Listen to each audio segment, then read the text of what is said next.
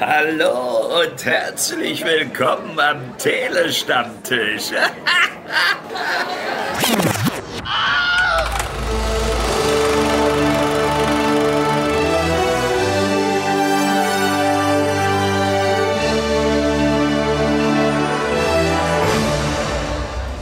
Die deutsche Komödie hat nicht den besten Ruf, aber vielleicht reden wir heute über eine gute deutsche Komödie. Und das machen wir zu zweit, nämlich einmal Kati, hallo. Hallo. Und ich, Johannes. Hi. Ähm, wir reden über die deutsche Komödie Sad Jokes, beziehungsweise wir müssen nachher auf jeden Fall klären, ob das hier überhaupt eine Komödie ist. Sad Jokes ist der zweite Film von Autor und Regisseur Fabian Stumm, der vorher Knochen und Namen gedreht hat und der dieses Jahr auf dem Filmfest München Premiere hatte und dort auch direkt zwei Preise gewonnen hat. Und worum es geht, das kannst du uns sagen, richtig? Ja, also ganz genau den Inhalt zusammenzufassen ist ein bisschen schwer, aber ich glaube, grob kann man sagen, dass es um das Leben von Josef geht, der Drehbuchautor ist und mit seiner besten Freundin äh, Sonja einen Sohn großzieht. Und eigentlich geht's so um einen Ausschnitt in seinem Leben und alles, was darin halt beruflich und privat passiert. Ja, das äh, kann ich so unterschreiben. Das ist, glaube ich, kein Film, der groß über die Handlung funktioniert, weil es halt eher so, ja, fast ist so, so, so Sketche, aber halt anders, als wir sie vielleicht aus den 2000ern von Sat 1 oder so kennen, weil der Film ja direkt, also er steigt erstmal ein mit Leuten, die halt so, ja, sagen wir, schlechte Witze vorlesen, würde ich sagen. Und dann gibt es eine äh, Sequenz, die über fünf Minuten geht, ohne Schnitt. Und da habe ich mich direkt gefragt, ist das jetzt eine Komödie? Ist das keine Komödie? Wie hast du? darf ich lachen. Ja, genau, ja, voll, genau. Wie, wie, hast du denn diese erste, also das ist ja eine beeindruckende Sequenz, weil in diese, also es fängt an und man weiß nicht ganz genau, wo man ist und dann wird die Sequenz lustig, emotional, unangenehm, traurig und man wird, also alle Gefühle werden einem irgendwie vorgeworfen. Wie, wie hast ja, du das ja. erlebt? Ja, ich finde auch, es steigt gleich mal so hart ein mit, also wirklich teilweise schlechten Jokes, die mhm. da einfach nur vorgetragen werden. Dann kommt eben die erste Szene in der Küche, wo man mal so die, also Josef und Sonja und so kennenlernt und so ein bisschen versteht, was eigentlich so die Rahmenhandlung ist. Also, dass sie eben, also er ist schwul und sie ziehen zusammen eben diesen Sohn auf, den sie zusammen, also ich weiß nicht, ob sie ihn adoptiert haben oder ob der von, keine Ahnung, mhm. aber auf jeden Fall ziehen sie zusammen als beste Freunde auf, aber die Sonja ist zurzeit auch in einer Klinik wegen Depressionen und entlässt sich dann eigentlich selber, was er auch nicht so geil findet und versucht dann halt wieder zu be bewegen, zurück in die Klinik zu gehen. Und ja, in diesen ersten fünf Minuten passiert eigentlich schon so viel, aber ohne dass es dich irgendwie überfordert, sondern wirklich, es ist verdammt faszinierend, was eine Kameraeinstellung im Prinzip aus ausrichten kann, wenn die Leute da drinnen wirklich verdammt gut sind, was sie sind. Und was du auch schon gemeint hast mit so aneinanderreihen Sketchen. Ich hatte auch am Anfang, ich war mir nicht sicher, ob die einzelnen Szenen überhaupt zusammenhängen. Mhm. Wegen der, eben der Art und Weise, wie sie gedreht sind, dass du meistens halt eine Kameraeinstellung hast und dann passiert da halt so theaterstückmäßig oder Wes Anderson-mäßig was in dem Bild, aber die Kamera bewegt sich nicht wirklich. Und irgendwie hatten zumindest die ersten drei, vier dieser Szenen hatten keine Verbindung miteinander und hatten keine Konsequenz oder keine Auswirkungen, bis man dann halt, bis er einmal seinen Arm in Automaten steckt und in der nächsten Szene mit gebrochenem Arm im Krankenhaus liegt und merkt, okay, das ist schon eine zusammenhängende Geschichte und das also die, die, die einzelnen Szenen haben schon Einfluss aufeinander. Aber ich fand das vom Aufbau her sehr faszinierend. Ich fand das wirklich cool, wie das erzählt war. Und das ist ja auch, also ne, der Begriff Meta wird ja in den letzten Jahren super häufig bei allen möglichen Filmen benutzt, aber dieser Film ist sehr Meta.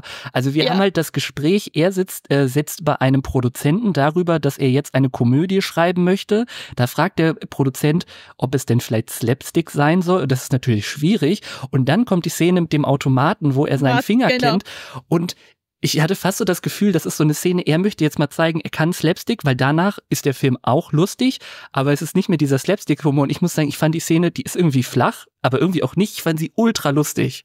Ja, ich auch. Ich fand das auch, das hat mich voll abgeholt. Ich finde auch der, also der Film ist eine absolute Parabel auf sich selbst. Also mhm. alles mit, von, also allein vom Titel bis hin zu allem, oder Film, was er auch ins, also der Schauspieler in der Rolle als Drehbuchautor dort zu seinem Produzenten sagt und wie das dann passiert, da, da passiert mehr Meta als damals bei Deadpool, habe ich das Gefühl. Aber, und auch nicht so, dass es dir so sagt, schau hier, das ist, das haben wir da gemacht, sondern verlangt zum Zuschauer, Zuschauerin schon ab, selber da die Verknüpfung zu ziehen. Was habe ich gesehen, was wurde gesagt und was passiert da jetzt? Aber ich finde das, ich fand das sehr cool. Ich mag, wie dieser Film aufgebaut ist und wie er Sachen erzählt.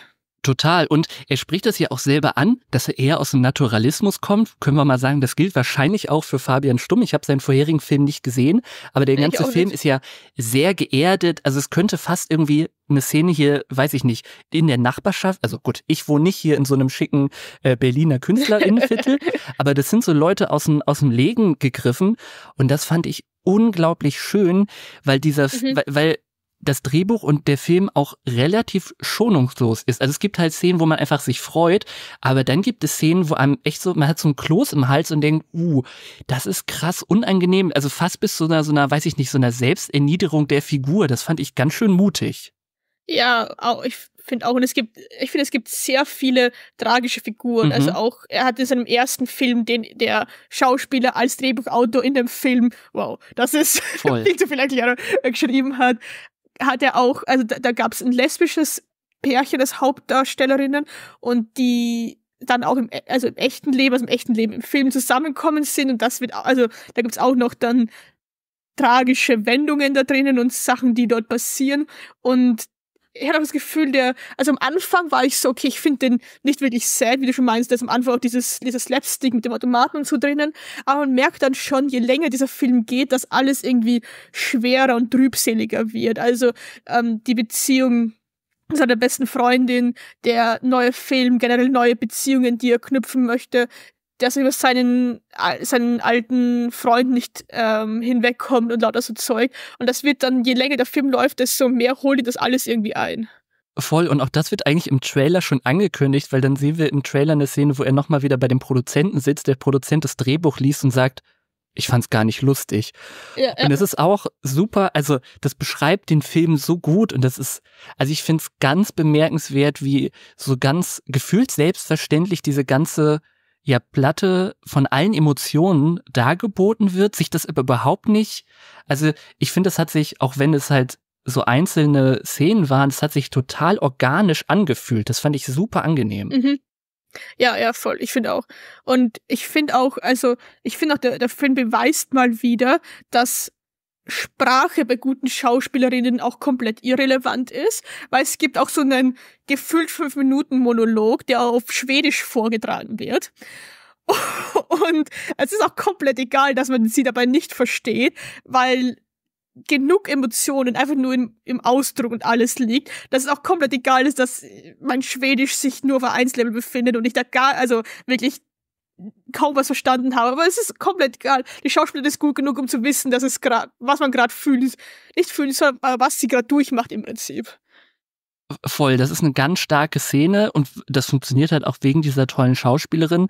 Und ich würde auch sagen, das gilt für den ganzen Cast, oder? Also ich fand, ich, ja, ich muss ja, sagen, definitiv. ich fand Fabian Stumm am Anfang, musste ich mich dran gewöhnen. Er ist ein sehr großer Mann, der auch so ein bisschen immer gebückt sitzt oder steht, was glaube ich häufig auch für große Menschen ja gilt, weil sie irgendwie, sie sind halt so groß. Und er redet, ich, ich weiß gar nicht, ich weiß nicht, woran es lag, ich musste mich dran gewöhnen, aber sobald ich drin war, fand ich das toll. Also das waren, da ist mal wieder so, man hätte mit den Leuten so interagieren können. Ja, ja, finde ich auch. Und ich finde auch, was ich sehr schön an dem Film finde, ist, wie er auch durch, also komplett hinweg von vorne bis hinten, wie er Freundschaften darstellt. Mhm. Ähm, oft werden Freundschaften im Film auch, vor allem wenn es dann irgendwie auch darum geht, dass jemand wen also anders findet oder einen Freund oder was immer findet, dann irgendwie links liegen lassen. Und ich finde, ich finde das sehr schön, wie auch der Fokus da auf der Freundschaft von den beiden, also von Josef und Sonja ist und wie sie sich wirklich helfen und oder versuchen zu helfen und wie wichtig sie sich wirklich einander sind, ohne dass da auch irgendwelche romantischen Dinge entstehen müssen, ne? Was auch, okay, also auch schwul, aber das, man hat schon genug in Filmen gesehen, dass das, dass man da was erwarten kann. Aber ja, ich finde das, ich finde das sehr schön und ähm, ich finde generell diese ganzen, also von vorn bis hinten alle Schauspieler, Schauspieler wirklich machen das so gut. Das hat mich echt begeistert. Ja, voll. Ich finde das auch mit der Freundschaft sehr schön, weil halt, es passt halt auch zum Titel Sad Joke, es werden halt nicht nur die schönen Seiten gezeigt und, ja, definitiv. und wenn sie halt mal nicht so schön sind, dann ist es nicht irgendwie platt, sondern, also, da, da wird es auch so eine, also man findet, man ist, ich finde auch diese erste Szene beschreibt das so gut, weil man überhaupt nicht sicher ist, bei wem soll, also bei wem liegen jetzt irgendwie die Sympathien. Und das kann man dann mhm. später, finde ich, viel besser einordnen, weil man irgendwie, also es ist der lässt so diese Zwischenräume zu, diese Ambivalenzen in den Figuren. Also das ist auch, auch, weil Josef ist halt auch, also er ist natürlich der Protagonist, aber manchmal denke ich auch so, boah, das ist halt jetzt irgendwie krass unsympathisch und taktlos. Ja, voll. Ich, ich finde ich find schön, dass der Film allen seinen Figuren einfach den Raum gibt, auch mal Arschlöcher zu sein und mhm. auch mal zu sagen, ja, okay, es sind halt auch nur Menschen und manchmal handeln die halt auch so. Und nicht jeder ist, auch wenn sie ihr Bestes probieren, nicht jeder ist immer perfekt und Sachen passieren. Und wir müssen nicht nur das Schöne zeigen, um zu zeigen, dass eine Figur an sich eine gute Person ist. Wir können eine Figur auch zeigen, wenn sie gerade nicht im Best sich bestes Verhalten oder was auch immer. Und man kann die Figur trotzdem mögen, weil sie trotzdem menschlich ist. Und das fand ich sehr schön, dass da auch sehr viel keine Ahnung, Respekt seinen Figuren gegenüber hat, um ihnen erlaubt, Fehler zu machen, ohne sie dabei komplett abzuschreiben. Total. Was mich auch hier sehr gefreut hat, das ist ein, man könnte über diskutieren, ob es ein queerer Film ist oder ein Film mit einer, mit einer queeren Hauptperson, aber dieses Queer-Sein ist nicht das Problem. Also ich finde, ganz häufig mhm. sind queere Filme Problemfilme, weil ne, es geht irgendwie um Diskriminierung, was auch legitim ist, weil es ist ein reales Problem, leider ja, immer noch. Aber ich finde es so schön, dass das hier dass, dass das Queersein, also das Schwulsein von ihm kein Problem in dem Film ist. Es wird thematisiert, es wird auch mal, also ne, wie es halt irgendwie wahrscheinlich im Berliner Alltag so irgendwie selbstverständlich ist. Aber das ist nicht das Problem des Films und das fand ich so erfrischend, weil sonst halt häufig immer diese diese Sexualität irgendwie das Problem und das Stigma von, von irgendwie von Protagonisten ist.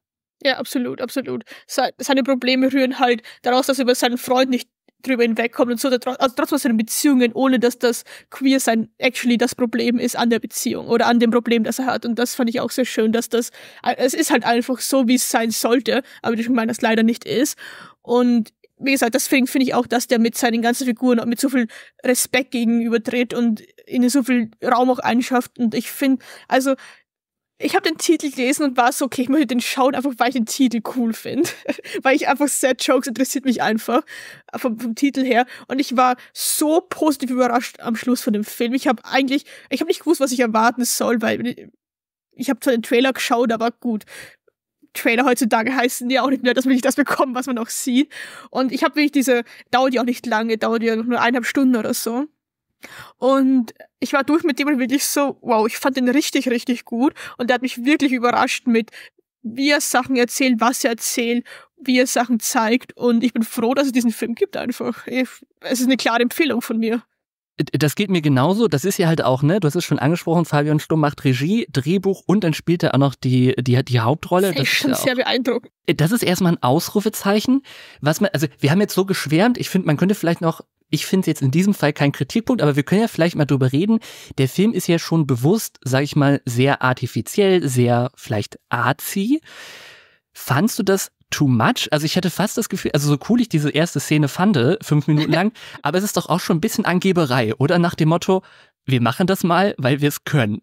Ja, gut, aber was ist das nicht? Ich meine, auch jede, jede CGI-Schlacht ist auch Eingeberei. Wir machen das, weil wir es können. Also das ist doch bei jedem Film so, oder? Das stimmt, das stimmt.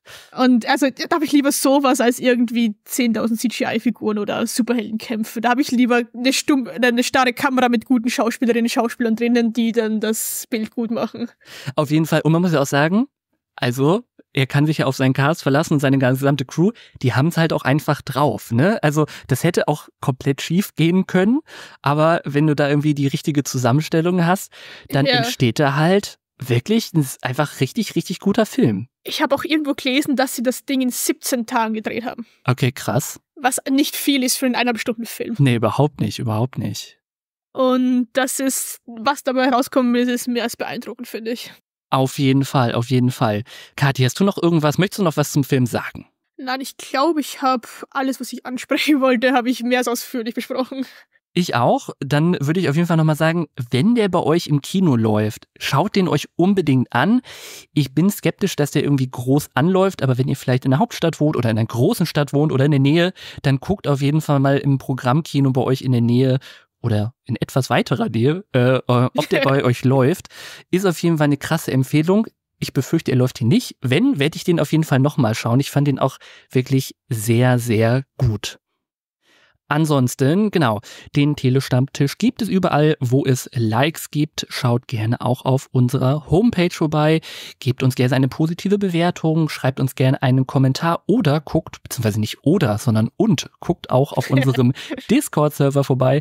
Da diskutieren sowohl wir vom Team als auch viele andere Leute aus der Community immer fleißig über Filme und äh, ja, gerade auch, wenn ihr Sad Jokes gesehen habt, sagt gerne, wie euch der Film gefallen hat. Und dann würde ich sagen, Kati, vielen Dank. Gerne, gerne. Und hoffentlich hört ihr beim nächsten Mal wieder rein. Ciao, ciao. Tschüss. Sehr geehrte Damen und Herren, wertes Publikum, liebe Hörende, vielen Dank für eure Aufmerksamkeit und Zeit. Ich hoffe sehr, euch hat gefallen, was ihr gerade gehört habt. Wir, die Redaktion des Telestammtisch, betreiben ein semi-professionelles Podcast-Projekt zum Selbstmitmachen. Also meldet euch bei uns, wir beißen auf. Außerdem freuen wir uns immer über Feedback via Social Media und E-Mail sowie euren finanziellen Support. Ebenso frohlocken wir förmlich über Bewertungen auf den gängigen Podcast-Plattformen. Wer möchte, darf uns gern immer und überall empfehlen. Alle relevanten Links findet ihr in den Show Notes. Vielen Dank und bis zum nächsten Mal. Euer Andi.